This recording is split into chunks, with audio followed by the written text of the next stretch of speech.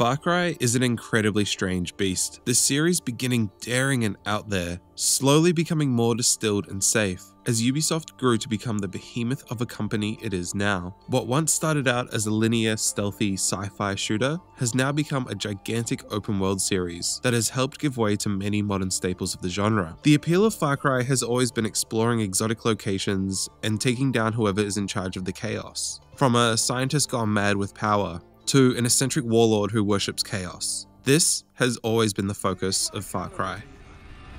You and I are gonna tear shit up! Should I stay or should I go?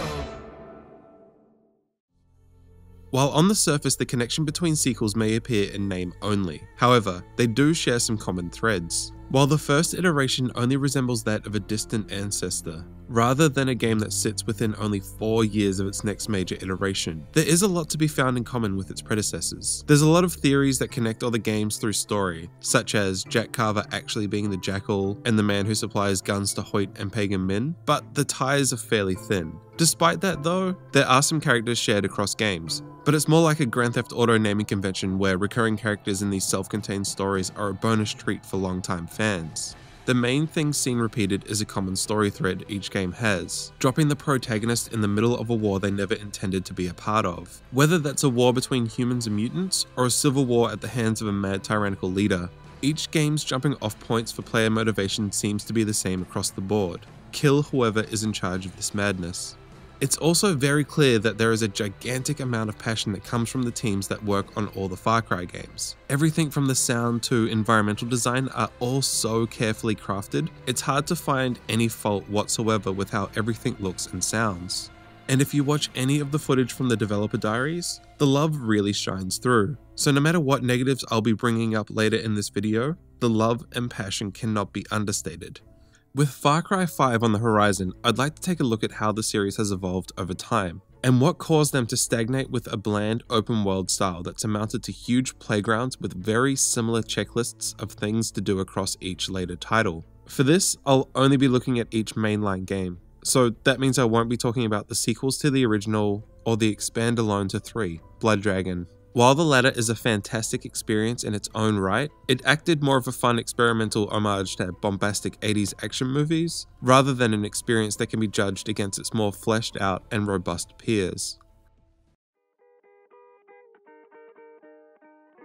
Before I played the original Far Cry for this video, I had always assumed 2 was the black sheep of the series, but I don't think I could have been more off base with that assumption. In a post Grand Theft Auto 3 world, I was under the impression Ubisoft had tried to capitalize on the rapidly growing trend of open world games. But that vision for Far Cry wouldn't be realized until 2007 with Assassin's Creed, three years after Jack Carver's adventures on the mysterious tropical islands. Far Cry is a clunky, incredibly goofy, and brutally hard mess of a game that winds up having a charm only a few can pull off while walking the line of being almost too cringy to bear. The story of Jack Carver, the man in the red Hawaiian shirt, plays out like a strange mix between Predator and Point Break in an ode to over the top action movies of the 90s. It's cheesy, but it gets the job done being engaging and exciting enough to get the player from beginning to end.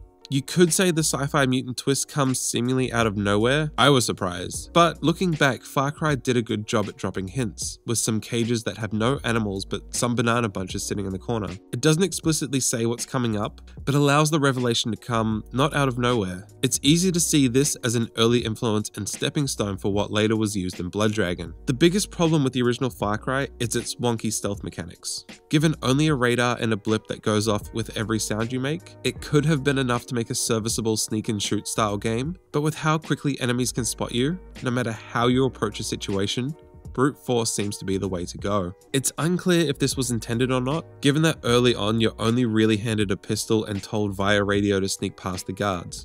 Stay low and avoid contact if possible. You don't really want to alert the guards. Using a pair of binoculars to scout ahead. It seems this was how Ubisoft wanted players to approach situations, at least early on before all hell breaks loose. This is what leads to the game's unforgiving difficulty, being outnumbered is par for the course in any game with combat, and especially shooters. It's that sense of overwhelming odds that gives the huge sense of self satisfaction when completing a level. But when the odds are stacked against you in a way that's more than just numbers, it leads to a game feeling like a grind rather than something that you can actively get better at. Take, for example, this section where I needed to sneak into a mercenary encampment, cause a loud explosion to be used as a distraction, and escape. There's a sniper here in the tower on the right, and no matter what I did or how I moved forward, his gaze was completely fixated on me. This is the best example of how making difficulty completely unfair ruins what could have been an otherwise good experience. None of this is to say that overly difficult games are bad. In fact, given the current climate, I'd say the feeling for a lot of people is quite the opposite. It's just that challenge needs to be earned and not swept out from under your feet in favour of being unfair. This just makes Far Cry a product of its time. Stuck in the early 2000s, when moving out of old school practices was just becoming a norm, and a lot of games found themselves stuck between the two, and this is no exception. What is here though is a solid foundation Ubisoft used to build an open world experience with Far Cry 2. Most first person shooters of its time were built to be run and gun. Despite different locales and weapons, the approach remained the same. Defeat enemies in an arena, then move forward. The way the game makes you approach encampments through spotting soldiers with binoculars to pin them on your minimap, as unevenly implemented as it is, is how Ubisoft proceeded to build outwards from here on out with every other numbered installment of Far Cry, and serves as a good jumping off point to talk about the rest of the series.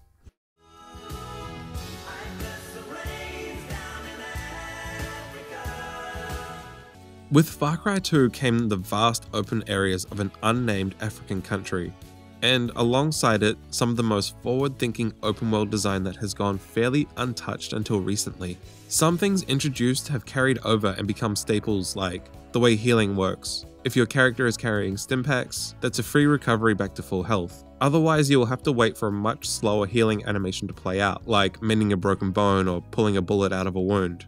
Although here the longer recovery option is only available below 2 bars of health, making Far Cry 2 a little bit more unforgiving than its later counterparts. And that's the name of the game here. It's unforgiving. Everything is tailored to feel like a fight for survival in a harsh wasteland. From weapon degradation to being afflicted with malaria. Both of these are incredibly divisive, but makes the motif of survival that much more engaging, constantly keeping players on their toes thinking, oh, my gun is rusty, will it survive this firefight? Should I find a new one or just risk it? Then, having a gun break mid fight is one of the tensest situations in all of gaming, causing a mild panic attack as you scramble to find an alternative, hoping you have enough stimpaks to make it through. As for malaria, it can be argued that it's an intrusive mechanic that doesn't add all too much, but I have to disagree. Since it ticks along in real time, cropping up between every 30 to 40 minutes, it keeps you actively engaged in that idea of unrelenting survival, leading to some time management, but never goes out of its way to be unfair. Like, for example, when the game shifts to the second act, leading players to Northern Africa, your symptoms subside until the story is able to give you missions to get more pills. Far Cry 2's biggest fault in my eyes is the sheer volume of random attacks the player can succumb to while traveling between destinations. A few occasionally add to the theme of survival, but after 4 or 5 traveling to a mission, these encounters can become draining, dwindling resources and gun durability constantly. One of the biggest points in its favour that I believe most can agree with is the minimalistic approach to a HUD, showing only ammunition and health. Instead of a pesky little minimap in the corner pointing out where to go and the location of every collectible, nor an intrusive waypoint on screen screaming where to go next, all that needs to be done is press a button and your character pulls out a physical map with some basic info like player location, quest markers, and the current waypoint. This isn't a clear one to one immersive experience, but it works. In a tense firefight, you need to make a conscious choice between shooting back or using your hands to see where health pickups or the quickest route out of dodge. This is a trend that the industry is only just now starting to catch up on. Games like Minecraft, Firewatch, Metal Gear Solid 5, and even Hollow Knight had an interesting take on the physical map style. As was fairly standard at the time, Far Cry 2 features no experience system, no ability trees, no perks. The problem with these things in later games is they take away the urgency from the player. You become too powerful too quickly, and things like buying new weapons become more novelty than necessity. It's entirely possible to play through Far Cry 3 and 4 with only the default assault rifle given, so it's with the lack of experience systems that 2 shines out even brighter, working cohesively with its other mechanics like weapons breaking, meaning you're always thinking on your feet. And if you get more skillful, that's on you and your abilities as a player, and how you've grown. One of the biggest failings of games post Far Cry 2 is the heavy reliance on the minimap. Everything you'll need to know about the immediate world around you is right at your disposal. There is the option to remove specific HUD features, sure, but these games aren't meant to be played in the state. They're designed to guide players through waypoints and pathways in the bottom left hand corner. Far Cry 2 has a simple yet elegant solution to this, and that's road signs. Different colored road signs point to various things. Having a bright red sign highlighted as you drive is a handy way to easily know where you need to be going. Painted pathways and colored signposts might sound like two solutions with the same end, but not having the constant minimap reliance helps players learn landmarks a lot easier, so they don't have to pull up the minimap as much. In a time where brutally hard games are praised, Far Cry 2 may have been a little bit too early to the punch for it to be remembered fondly. Instead, what it's survived by is the malaria mechanic and too many enemy mercenaries out to get you.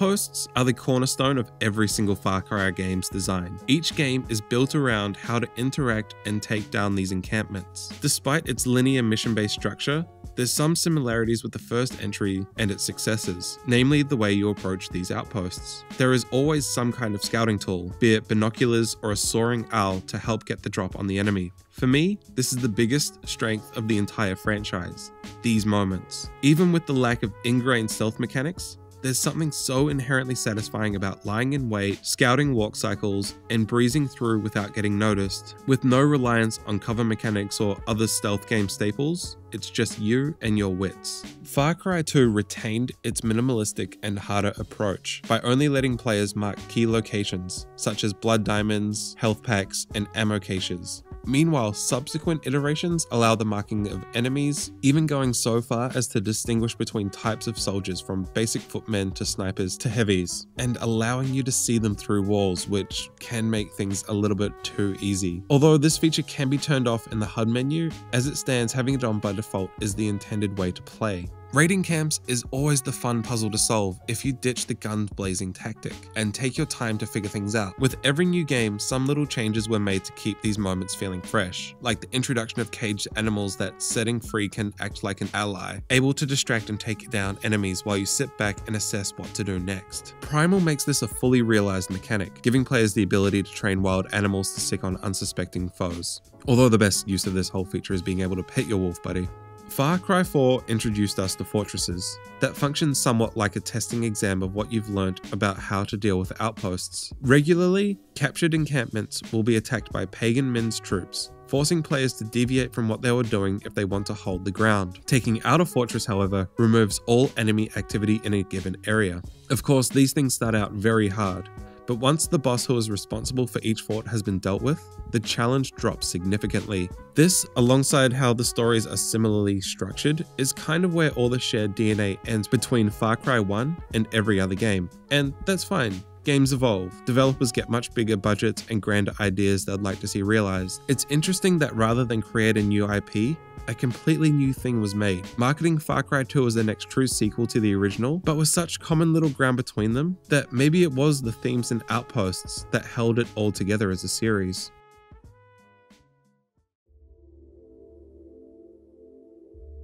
After the release of Assassin's Creed, Ubisoft developed a soft spot for what has now become known as Ubisoft Towers. You know, the act of finding a specific point on a map, climbing to the top, and then gathering every single bit of info for a certain area. Far Cry 3 really needed to make this a point, as once you've escaped the first tutorial sequence, the next mandatory mission is to liberate a tower. 4 and Primal did this also, but let the player explore first rather than railroad what needs to be done. As time has gone on, these towers have become little puzzles to solve, from the vertical approach figuring out how to climb the tower, although these hanging ropes in Far Cry make this a bit too easy, to more horizontal, figuring out how to find hack points in Watch Dogs. This side of open world design has become synonymous with Ubi's open world games, only recently being dropped in Watch Dogs 2. I can see how these moments were meant to act as a way to break up your time spent exploring a world, but offer such a bland and lazy reward. It can be seen as the downfall of the company's approach to game design. Recently, Nintendo took a crack at these towers with Breath of the Wild, and actually managed to nail the concept in an incredibly interesting way, leaning more into these moments being much bigger puzzles for how to reach the top that doesn't just equate to finding that hanging rope among some debris. Not only that, but they served as a more diegetic approach, showing off the world to reveal more map. But that's as far as it goes. It's up to you to scope out the points of interest and mark them yourselves with beacons. Unlike in Far Cry, where the game decides for you what you need to know in the surrounding areas. All of this would be okay if the worlds were interesting, but unfortunately, despite how beautiful all of these tower laden worlds are, they're just not interesting to explore. The gameplay loop presented usually amounts to doing the same few kinds of quests. Go to a location, collect a certain thing or kill a certain person, and return. It's fairly standard affair in terms of questing, but what brings it all down even further is 3 and 4's vehicle and general movement options are incredibly dull, with one great exception to the wingsuit of course. Travel is just uninteresting. Towers unlock things to see and explore, but they all amount to the same things over and over to the point of exhaustion. Using Breath of the Wild again, a very key aspect of design it features that these later Far Cry games don't is simply movement, especially with Far Cry Primal, that features no modes of transport outside of a talent tree ability to ride mammoths. A lot of your time will be spent pressing forward and sometimes grappling up a cliffside. Zelda's latest made climbing fun, but also challenging. Can I make it up this cliff in time? Should I risk the jump? Then rewards those that make it with incredibly satisfying paragliding moments. Far Cry 3 and 4 have the wingsuit, of course, but not being able to climb wherever you want at any given moment mean the jumping off points are limited to where the games want you to jump off, not where you want to, severely limiting the self-expression of movement. 2 alleviated a lot of these problems by not relying on minimaps or stuffing Africa to the brim with collectibles, but it's not entirely free from sin. It suffers from these problems too, just to a much lesser extent. I think Ubisoft knew how boring travel was in the unknown African country and thought easier access to fast travel as a reward for liberating outposts and towers was the way to go. So much so that Far Cry 3 actively tells you to fast travel to complete a mission. It's understandable why this feature has been pushed, but acted as a band-aid to an axe wound. Sure, you could cover up the issue of dull movement, but in the end, you're probably just doing more harm than good.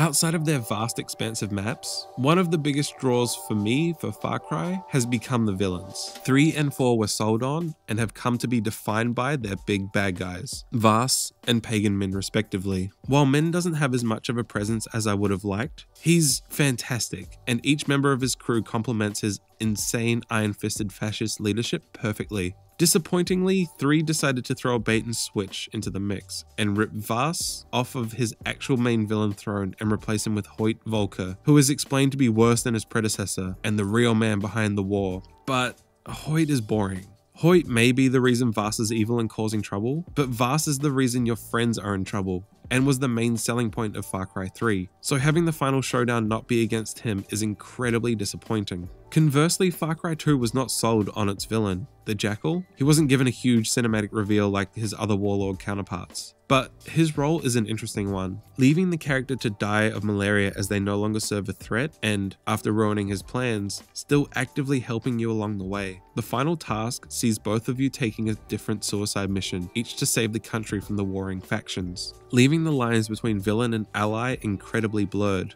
Despite the fact that Jackal doesn't have much of a presence as he should, what he does have is incredibly impactful Primal has easily the weakest big bad guy in the bunch, which is just further evidence that this game should have been an expandalone like Blood Dragon and not a full release, but we'll get to that. The story of three warring tribes in the Stone Age could have been interesting, but there is no build-up of threat. Ull attacks your village one day, punches you, and then the hunt to kill him begins. Design-wise, Ull is amazing, showing dominance in his battle-worn face, but he's never seen or heard from again. Even the smaller tribe of the Izila and their leader, Batari, have much more stake in the story than Ull and the Oros tribe, which is a shame because after killing Ull, he has a sweet moment asking you to take care of his kids, which could have been much more powerful had he been given more screen time. Now, Far Cry 3's story and setting problems don't end with Vaas unfortunately getting shafted. The treatment of culture is very strange, as is the growth of Jason Brody as a protagonist. Let's start with Jason. One of the strongest moments of the game is at the very beginning, when he's freaking out about seeing his older brother kill someone right in front of his eyes. Holy fuck, he's dead! Then, after witnessing the death of the same brother at the hands of Vaas, Jason escapes the prison camp, freaking out in the process. It paints an incredibly solid picture and lays a great foundation for what could be interesting character growth you instantly become a one man army who can take down pirate forces with ease. There's a specific phrase for this, but I'm not going to use it. The other issue is cultural appropriation, and before you fire off some comments calling me the SJW that I actually am, I'm not using it positively or negatively here. It's simply a term, and using it here is for a predominantly white team using characters and stories from a culture that is not their own. Is it bad? In Far Cry 2 and 4? Absolutely not. They handle everything pretty well. 3 is a different story. Maybe I am biased as there are sprinklings of Maori culture in here, a culture that, living in New Zealand, I am surrounded by. The islands in the Pacific are home to an incredibly strange cast. Jason and his friends make sense, and to a degree so does Dennis despite his seemingly spiritual ties to the land he has come from elsewhere. The issue is with Vaas, Citra, and the locals. All have three incredibly different accents and looks for people who are all supposed to be from the same land. Picking and choosing which cultures to plant in the Pacific Islands is sketchy at best and dangerous at worst, and I'm glad Ubisoft seem to have learned from their mistakes later on. Also, one quick aside, all the Voice actors, mixing is very bad. It sounds like they're talking through a tin can and I can't understand why that happened. Make quick work of the guy, that's for sure. Probably kill him with his own machete. There is a lot of cool things that Far Cry Primal manages to do that, if given more development time, could have been incredible and made the game stand out significantly more than it did. And honestly, I wouldn't be talking about it, but since it got the stamp of a full price game, I think it's only fair to put it up against everything else. Primal managed to only barely outsell Far Cry 2, and considering how colossal the sales of 3 and especially 4 were in comparison, it's not hard to see why Ubisoft is shaking things up for Far Cry 5. Starting its life like its previous generation counterpart Blood Dragon, Primal was meant to be a fun little take on the map of Far Cry 4, throwing the setting, a modern day Himalayas, out the window in favor for the 10,000 BC setting, stripping the game of modern features like vehicles, automatic weapons, communications, and replacing them with sticks, stones, and prehistoric animals. In theory, I love everything about this game. It has such a unique idea and almost gets there.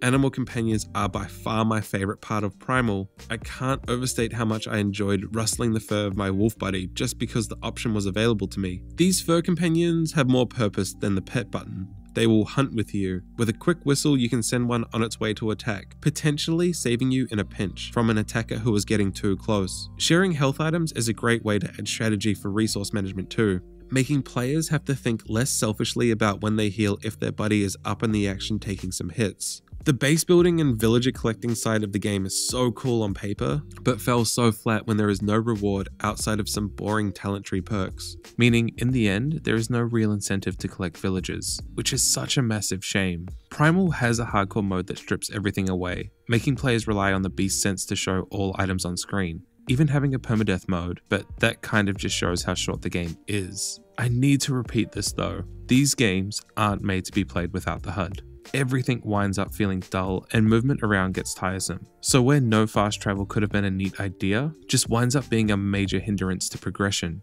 I'm hoping these lessons from a rushed major development are learnt for the upcoming Far Cry 5.